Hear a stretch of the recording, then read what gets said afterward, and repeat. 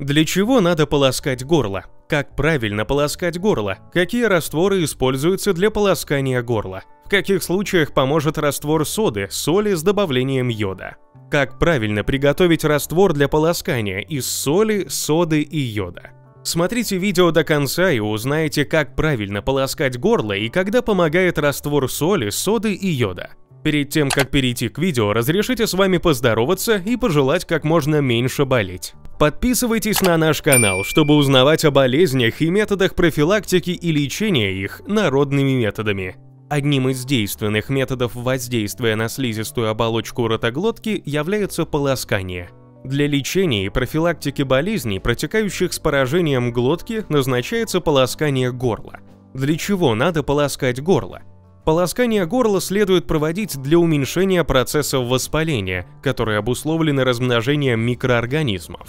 Простое полоскание позволяет чисто механически освобождать глотку от вирусов, микробов и грибков.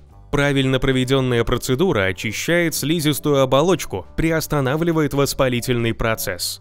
При попадании лекарства непосредственно на место, где находится патологический очаг, происходит вымывание возбудителей, которыми чаще всего являются бактерии, микробы и грибки. Лекарства воздействуют на сами микроорганизмы, вызывая их гибель и ограничивая возможность размножения. Большинство растворов, используемых для полоскания горла, являются антисептиками и обладают противомикробной и противовирусной активностью. Они непосредственно воздействуют на возбудителей заболеваний. Еще один положительный момент полоскания горла – это противовоспалительное действие – Вещества, используемые для обработки глотки, уменьшают отек, снимают боль, восстанавливают свойства слизистой оболочки. В отличие от других способов воздействия на горло, при полоскании полностью отсутствует травматизация клеток, потому что не происходит усиленного влияния на ткани, как, например, при проведении орошений через распыляющее устройство. Если применяются спреи, то струя лекарства сначала разрушает верхний слой слизистой, потому что вылетает из баллончика под напором. Во время полоскания такое воздействие полностью отсутствует. Полоскание является щадящим и эффективным методом местного лечения горла. Как правильно полоскать горло? Чтобы лечение проходило эффективнее и не приносило неприятных ощущений, во время полоскания горла следует соблюдать определенные правила – Полоскания назначаются несколько раз в день. Если используются травяные настои или отвары, то их готовят сразу на целый день. При использовании других средств лечебный раствор приготавливают непосредственно перед процедурой. Нельзя заранее разводить соду или перекись, потому что в процессе хранения полезные свойства улетучиваются. Полоскание необходимо делать, используя кипяченую, теплую воду, температура которой не менее 37 градусов. Более высокие температуры могут вызвать раздражение, а более низкие – снижение местного иммунитета. Для проведения полоскания горла берите не более 120-150 мл воды. Целый стакан выполоскать очень сложно. Оставлять нельзя, значит лекарство будете выливать. Всего несколько секунд нахождения раствора в горле приносит ощутимые результаты, поэтому не стоит стремиться делать больше и полоскать дольше. Лучше поменьше, но почаще. В течение половины часа после полоскания горла ничего не ешьте и не пейте. Не курите и не жуйте жвачку, не сосите конфеты, даже лечебные таблетки. Иначе действие препарата значительно уменьшится и эффективность снизится. Для каждой отдельной процедуры полоскания следует брать в рот небольшое количество лечебного средства, не более среднего глотка.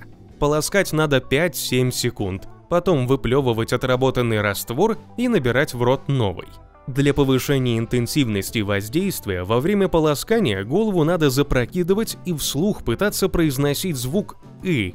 Всего полоскания горла за один раз не должно быть по времени больше половины минуты.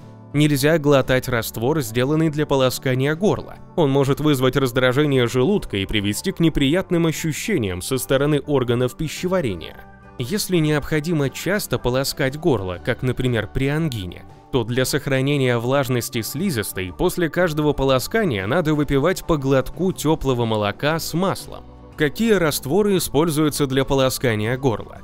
Чтобы справиться с воспалением миндалин и глотки, существует множество готовых средств, которые продаются в аптеке. Это хлоргексидин, гексарал, оки и другие. Из готовых медикаментов самым недорогим, но достаточно эффективным является фурацилин.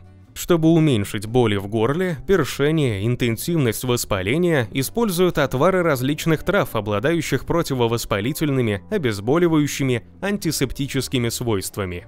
Наиболее часто применяются ромашка, календула, шалфей. Растворы для полоскания готовят с добавлением прополиса, меда, сока алоэ или каланхоя, перекиси водорода но применяется одно средство, которое известно очень давно и является, пожалуй, первым среди всех растворов, поскольку обладает одновременно всеми необходимыми свойствами. Это уникальный раствор, в состав которого входят сода, соль и йод. В каких случаях поможет состав с солью, содой и йодом? Полученный при смешивании соли, соды и йода раствор обладает сразу комплексным воздействием на воспаленную слизистую горло. Йод уничтожает микроорганизмы. Он одинаково эффективен против грибков, бактерий и вирусов. Соль уменьшает отек, увлажняет ткани глотки, а сода снимает воспаление. Данный раствор возможно применять при различных поражениях небных миндалин и глотки. Используется полоскание содой, солью и йодом в следующих случаях. Для профилактики респираторных заболеваний рекомендуется полоскание горла каждое утро и после возвращения домой после работы, прогулки или похода в магазин. Если имеются проявления хронического тензилита, отмечаются боли в горле, миндалины увеличены, лакуны расширены. При заболевании ангиной, когда в миндалинах появляются гнойные налеты, беспокоят сильные боли в горле, повышается температура и увеличиваются подчелюстные лимфоузлы. В случае любых респираторных инфекций, вызванных разными вирусами и бактериями, включая респираторную микоплазму и хламидию, когда отмечаются боли и першения в горле, слизистая ярко гиперемирована, инфильтрирована, разрыхлена и отечна. Для лечения грибковой ангины, если в горле имеются творожистые наложения, боль в горле носит умеренный характер. Грибковые ангины часто развиваются на фоне применения антибиотиков – Поэтому полоскание данным раствором становится эффективнее вдвойне, поскольку не содержит антибактериальных веществ.